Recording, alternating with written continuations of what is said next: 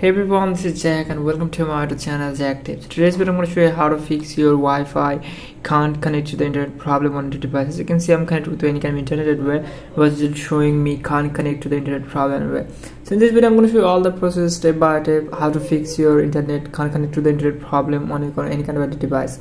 So let's start with this video, guys.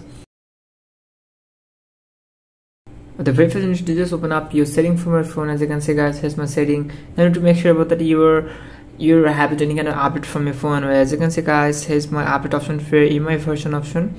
As you can see there is not update available from here. I'm going to tap check for update option from here. It's going to the wi-fi but it's going to be problem here. As you can see it's not going to be any connectivity option from here anywhere just going to go back from here.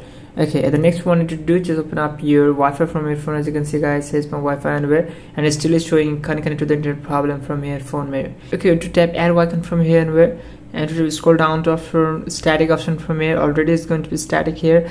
First you got interface launch like this and to tap IP setting option from here to tap a static option from to scroll down the option called fast DNS it's going to be just set it to your fast DNS option here. Already I'm going to be set it to DNS here.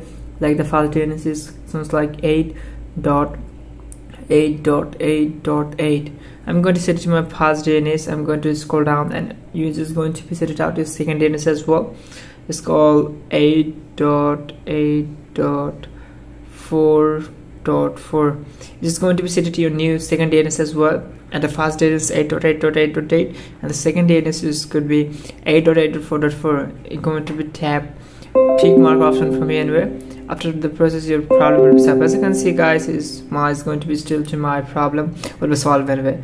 If you still have a problem it's going to be restart your phone one time okay it could be possible to get fix your problem. As you can see i'm going to open to my any kind of browser from my phone. As you can see it could be youtube or anything else anywhere. I can easily route to my play to my anything else